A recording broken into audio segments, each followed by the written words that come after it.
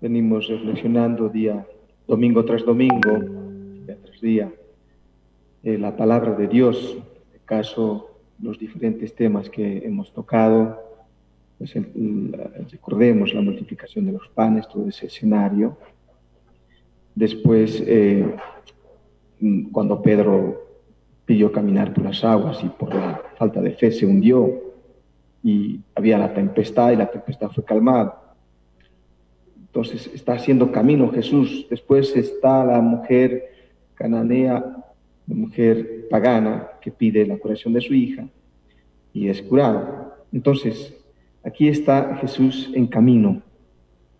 Y es Jesús que predica, Jesús que enseña, Jesús que muestra signos de su poder, del amor de Dios, de la misericordia, que toca, podríamos decir, el corazón del ser humano.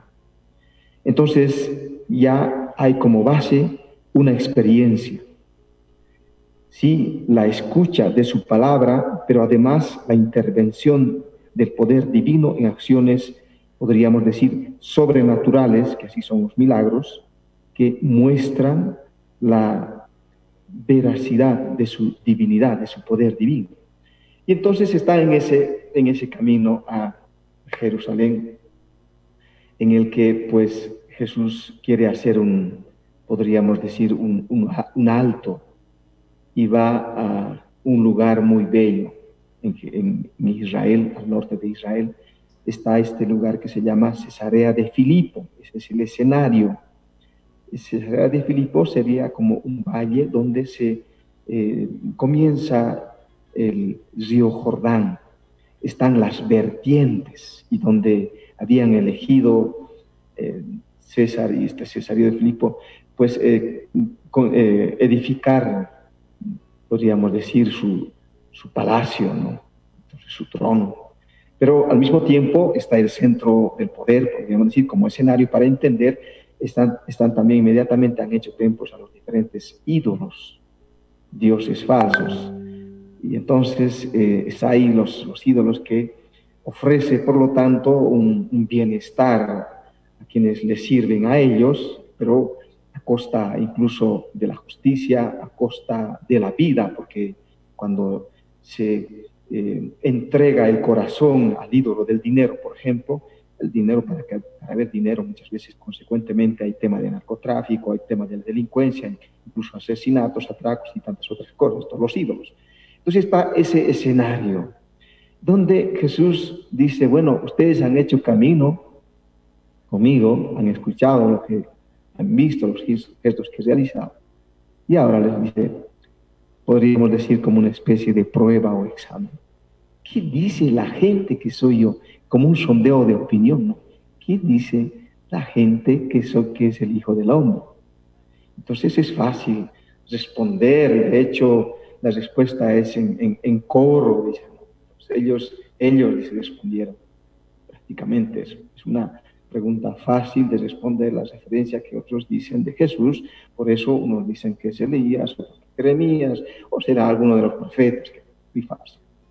Bueno, está ahí. Es una respuesta que no compromete, porque total, quienes son autores de esa, de esa afirmación son otras personas, por lo tanto, indiferente, podríamos decir, a los discípulos en este caso, pero Jesús va más allá y está aquí, podríamos decir, es interesante el escenario porque habiendo hecho camino, es como un camino, podríamos decir, de conocimiento, de conquista, de enamoramiento en el seguimiento de Cristo.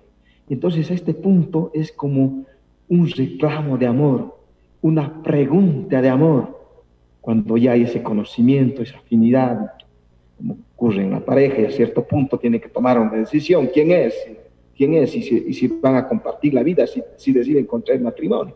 Entonces, algo así ocurre aquí, Jesús, en esa intimidad que les, pregunta, en la tranquilidad del valle, tienen delante las vertientes, el agua verde. Y entonces, ¿quién? ¿Quién soy yo? Para ustedes, dice Jesús. ¿Quién soy yo? Ustedes, ¿no? ¿Quién, ¿Quién dice que soy yo? Ustedes. Por lo tanto, ¿cuál es el camino, la experiencia, el resultado que, que tienen ustedes, las, la experiencia que tienen de, la escucha de su palabra, de los signos que, la, que ha realizado. Y aquí ya la respuesta no puede ser colectiva, sino es una respuesta eminentemente personal, que de hecho así ocurre, en este caso es Simón Pedro que toma la palabra y que dice pues que tú eres el Mesías, el Hijo de Dios vivo. Entonces está la confesión de Pedro. Y habiendo profesado la fe que Jesús es el Mesías, el Hijo de Dios, entonces Jesús le dice una bienaventuranza personal. Bienaventurado tú, Pedro, feliz de ti, Simón, que eres, que eres eh, hijo de Jonás. Esto no te lo ha revelado la carne ni la sangre. Pues no es una cosa que simplemente aprendida de los hombres, sino es un don, y es un don recibido de lo alto. Esa es la fe que ha, recibido, que ha recibido Pedro al punto de, de, confesar, de estar dispuesto a todo por el Señor. En este caso, a profesa su fe. Ojo, que tengamos presente que es un hombre débil, frágil. Es un hombre que le negará a Jesús cuántas veces, tres veces. Y pese a todo, ese hombre que le faltó fe cuando estaba caminando sobre el agua, pero como le faltó fe, dudó, entonces comenzó a, comenzó a sumergirse, a hundirse. Es ese, ese hombre que le dijo, Señor, sálvame, que y que el Señor le agarró de la mano. Entonces a él confía. Entonces Jesús está construyendo para continuación de su misión el colegio apostólico, su iglesia, su iglesia que tiene como base, base y fundamento, podríamos decir, ante todo, como roca, que es Cristo, pero como piedra un fundamental importante en la iglesia, como cuando construimos una iglesia, un templo, una casa, pues hacemos los cimientos. Y bueno, tradicionalmente los cimientos están hechos de, de, piedras más, más grandes, ¿no? Que, que, que, significa, por lo tanto, eh, seguridad, firmeza, pero al mismo tiempo significará fidelidad, significará, pero esa piedra y ese fundamento, vamos a ver que esa piedra, ese fundamento es la fe, la fe que profesa Pedro, es la fe de la iglesia, pues así como Abraham es el padre de la fe, eh, Pedro tendrá también esta misión de presidir en la fe al colegio apostólico y a todos los que creen en Cristo. Por lo tanto, es el vínculo de, unidad. Y por eso recibe esta autoridad, como dice Pedro, como dice Jesús en este Evangelio de Mateo, tú eres Pedro, sobre esta piedra edificaré mi iglesia, podré, el poder de la muerte no, la, no, prevalecerá sobre ella. En todos los nombres significados, en el escenario está mirando el Hades, esas puertas, el inferi, que era como el, el infierno así, eso que está ahí como escenario, pero sin embargo que significa las fuerzas del mal, las arremetidas por lo tanto de las, de las ideologías, de las dictaduras, en fin, de las persecuciones, eh, de, tantos ataques que, que, recibe la fe cristiana y católica, la misma iglesia, el clero, en fin. Entonces está esa situación ante el que prevalecerá con firmeza, pero es en virtud de la fe, no es en virtud del poder político, no es en virtud del poder, podríamos decir, material y la riqueza, sino es en virtud de la fe, en tanto en cuanto está arraigado firmemente en la persona de Jesús, entonces será, no será fácil derribarlo, podríamos decir, a Pedro. Y en este sentido, esta misión, esta función que es confiada a Pedro, se participa como autoridad en la iglesia, el colegio apostólico, por lo tanto, el colegio episcopal, de quienes somos partícipes, pero también en virtud de la ordenación sacerdotal se administra también la palabra para, para presidir, alimentar, nutrir, guiar, conducir al pueblo, también a la luz de la palabra de Dios. Entonces, por eso, Jesús hace esta, este acto de confianza, ¿no? En Pedro, que dice, yo te daré las llaves del reino de los cielos, todo lo que haces en la tierra quedará atado en en el cielo y así, lo que significa autoridad para tomar decisión. Podríamos decir autoridad para tomar decisiones vinculantes. Y vinculantes no solamente en la realidad temporal, sino también eterna. ¿Qué, está, qué estás diciendo aquí? Que este poder, esta autoridad tiene que ver también con la absolución de los pecados. Por lo tanto, la dispensación de la gracia divina. Entonces, esta autoridad que recibe directamente Pedro y que se participa en virtud de la ordenación, pues no solamente en el episcopado, sino también en el, en el sacerdocio, de atar y desatar. Pero ante todo, recordar la importancia que tiene cuando Jesús confía autoridad, ¿no? Tener presente que esta autoridad es servicio, ¿no? Es para dar vida, para dar luz, para dar confianza, para dar esperanza también al pueblo. eso es lo que hace Pedro después, podemos decir que el desenlace de esta confesión de, de fe que hace Pedro no será solamente este momento y en otros cuando también dice Pedro entusiasta en la, la transfiguración, hemos meditado también semanas pasadas, qué lindo es estar aquí, haremos tres chozas, entusiasta, entusiasta. Y bueno, en este caso, pues la, la, podríamos decir, el desenlace de la profesión de fe de Pedro es el escenario posterior que sobrevendrá, por lo tanto, las acusaciones, la persecución, la privación de libertad, el compartir, por lo tanto, la suerte de Cristo.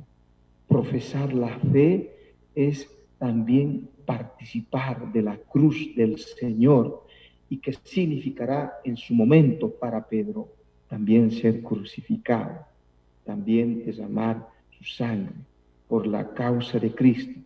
Entonces aquí está la firmeza y la fidelidad, perseverancia y constancia que tiene la fe de Pedro, por el que preside en la fe a la iglesia, al colegio apostólico y a la iglesia.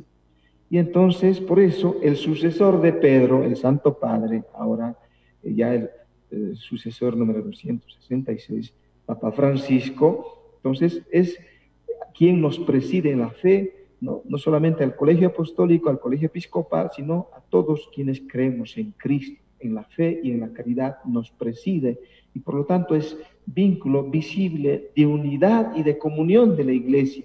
Por eso la comunión eclesial tiene que ver la comunión en la fe, pero al mismo tiempo esta comunión de fe implica la comunión con quienes profesan esta fe y que presiden a esta comunidad de fe, en este caso como es el Santo Padre, el Papa Francisco, que reconocemos como sucesor de Pedro, que ha recibido esta autoridad, este ministerio de servicio.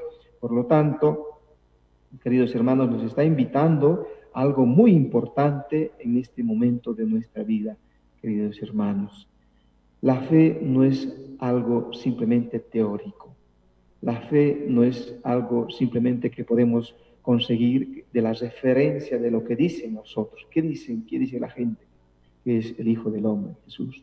Sino la fe es algo personal, implica algo interior, entonces, en ese momento, con esta profesión de fe, está queriendo Jesús consolidar este vínculo con sus apóstoles para que puedan estar dispuestos a todo para llevar adelante su misión del anuncio del Evangelio en la construcción de su reino de paz, de amor, de justicia. Y en este sentido reafirma la segunda lectura Pablo, también haciendo una profesión de fe reconociendo la importancia de Dios en la vida de cada persona. Por lo tanto, ese designio divino que es insondable, un Dios amor, un Dios que tiene un proyecto de salvación, que es un proyecto de amor que se realiza por medio de su Hijo Jesús y a quien nos sumamos a su causa. Él ha venido y ha fundado una comunidad que es la iglesia y esta iglesia, podríamos decir, jerárquica, la cabeza de Pedro, los apóstoles, Entonces estamos llamados también como Él, con esa firmeza, con esa claridad y esa seguridad de poder profesar nuestra fe cristiana y católica, queridos hermanos. Entonces, a Él sea la gloria eternamente, dice Pablo. Entonces, así tiene que ser. Y por eso la consecuencia también para nosotros que profesamos la fe en cada Eucaristía puede ser también el testimonio dieron los apóstoles, que podamos dar también nosotros en un mundo donde hay tantos conflictos, tantas dificultades, tantos problemas que nos aquejan, pero que podamos dar paz, que podamos, podemos dar esperanza al mundo a la luz de esta palabra revelada.